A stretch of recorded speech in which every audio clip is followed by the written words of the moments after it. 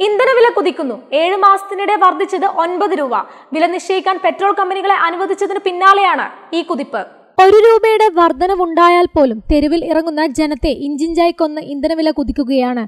ദിവസേന ഇന്ധനവില നിശ്ചയിക്കാൻ തുടങ്ങിയ ജൂൺ പതിനാറിന് പെട്രോളിന് അറുപത്തി എട്ട് പോയിന്റ് അഞ്ച് മൂന്ന് രൂപയും ഡീസലിന് അൻപത്തി എട്ട് പോയിന്റ് ഏഴ് പൂജ്യം രൂപയുമായിരുന്നു. എന്നാൽ തിരുവനന്തപുരത്ത് പെട്രോളിന്റെ വില എഴുപത്തി അഞ്ച് പോയിന്റ് ഒൻപത് ആറ് രൂപയും ഡീസലിന്റേത് അറുപത്തി എട്ട് പോയിന്റ് രണ്ട് ഒന്ന് രൂപയുമാണ്.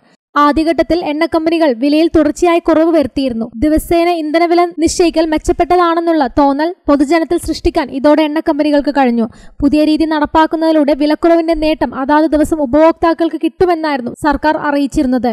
എന്നാൽ മാസങ്ങൾ പിന്നിട്ടതോടെ എണ്ണവില മുകളിലേക്ക് കുതിക്കാൻ ആരംഭിച്ചു. കഴിഞ്ഞ ഏഴ് മാസത്തെ കണക്കെടുത്താൽ പെട്രോളിന് ഒൻപത് പോയിന്റ് പൂജ്യം മൂന്ന് രൂപയുടെയും ഡീസലിന് ഒൻപത് പോയിന്റ് ഒൻപത് മൂന്ന് രൂപയുടെയും വർധനവാണ് ഉണ്ടായത്. ജനുവരിയിൽ ഇതുവരെ പെട്രോളിന് രണ്ട് പോയിന്റ് ഒന്ന് ഒൻപത് രൂപയുടെയും ഡീസലിന് രണ്ട് പോയിന്റ് ഏഴ് രണ്ട് രൂപയുടെയും വർധനവാണ് ഉണ്ടായിരിക്കുന്നത്. ക്രൂഡ് ഓയിൽ വില ഇനിയും വർദ്ധിക്കുകയാണെങ്കിൽ ഡീസലിന്റെ വില പെട്രോളിനൊപ്പമോ അതിന് മുകളിലേക്കോ എത്തുമെന്നാണ് സൂചന. അൻപത്തിനാല് ശതമാനം നികുതിയാണ് കേന്ദ്രത്തിനും സംസ്ഥാനത്തിനുമായി പെട്രോളിയം ഉൽപ്പന്നങ്ങളിൽ നിന്ന് ലഭിക്കുന്നത്. നികുതി കുറയ്ക്കാൻ കേന്ദ്ര സംസ്ഥാന സർക്കാരുകൾ തയ്യാറാവുന്നില്ല. ഇന്ധന നികുതി സംസ്ഥാനം കുറയ്ക്കില്ലെന്ന് ധനമന്ത്രി തോമസ് ഐസക് കഴിഞ്ഞ ദിവസം വ്യക്തമാക്കിയിരുന്നു. Top news Kerala Thiruvananthapuram.